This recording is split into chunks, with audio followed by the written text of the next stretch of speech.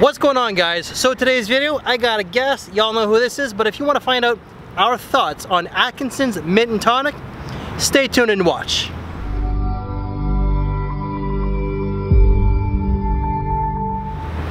So this is your first time coming across this beautiful, sexy, bald-looking bastard, and then you got Steven here. How's it going? And you like this type of content, and someone who's sarcastic, no shame, and a very self-deprecating sense of humor, and a bit of an attitude, then, su then subscribe because you're gonna like this type of material.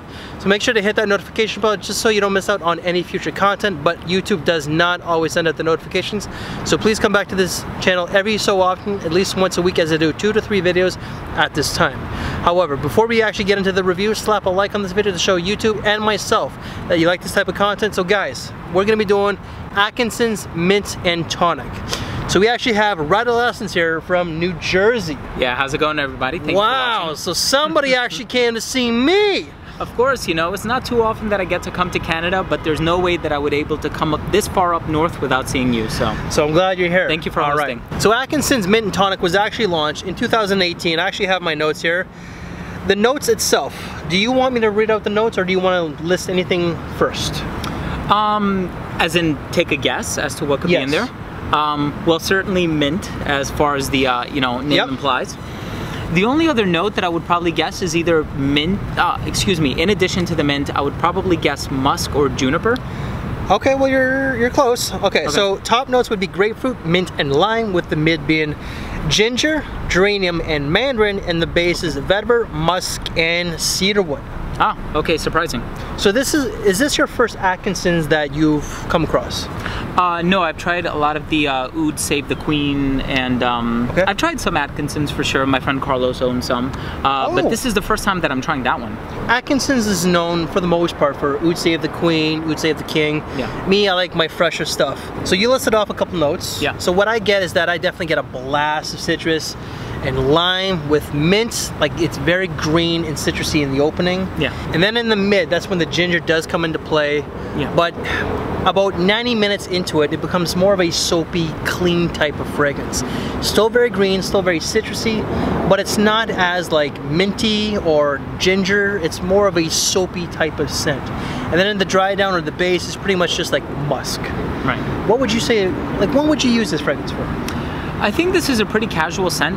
What's the price on it, if you don't mind me asking? Okay. the vicinity. So unfortunately, this is not available online. I have seen these on Fragrance Net, Fragrance X, but at Holt Renfrew, you're looking to spend 185 Canadian, so that's 140 to 150 American. Okay.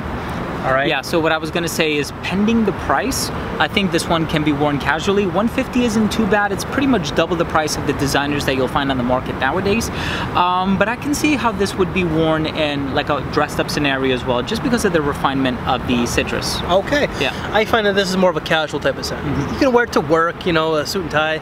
But for me, I find that if you work in corporate America or, or an office, and you wear, say, something classy like Creed Aventus right. as your work scent, this is more of a weekend scent. Hmm. I find something casual, how Steven is, like flip flops and shorts. It's a hot day today. Yeah, that it is. But seasons, summer, yeah. longevity wasn't bad, but you know, when you're paying for something like this, I want something a little bit more. Sure. Four to five hours projection was more on the milder side. So wife's thoughts, she actually likes this one. She says it's very green, fresh, and citrusy, and also very soapy. It is unisex, but she finds it's more so on the masculine side. Do you have anything else to add? Like, let's let's finish off this video. I think it is unisex. You're right about that. I mean, I like the freshness in the opening. I don't get necessarily a burst of citrus, but you can definitely tell that the citrus is there.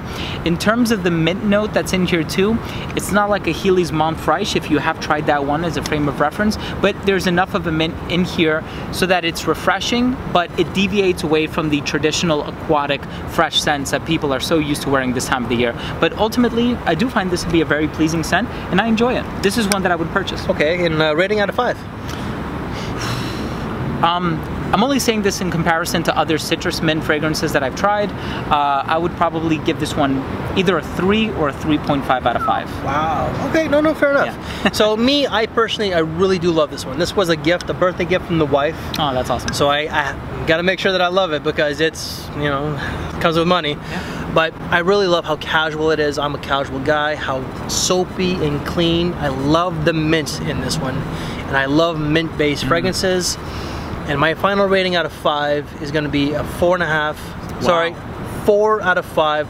I think what can be changed a little bit is the price tag, but also the performance. I find that when you're spending this kind of money, I want something that's going to last minimum six to seven hours. Right, I can you know? understand that. So, anything else to add? No, uh, please subscribe to this guy. Once again, if you took something of value from this video, Chad is an awesome individual.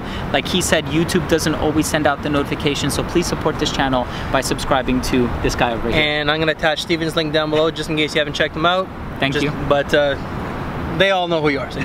so guys, that's our take of Atkinson's Mint and Tonic. Steven, thank you very much for thank doing you, this Chad. one. Really appreciate it. So we're gonna, actually gonna be doing a lot of videos when Steven's here. So I gave Steven a list of the fragrances that I was looking to do and he actually chose this one. Glad that you did because I was gonna do it regardless, but at least we got another take. So we got the pleasure. professor.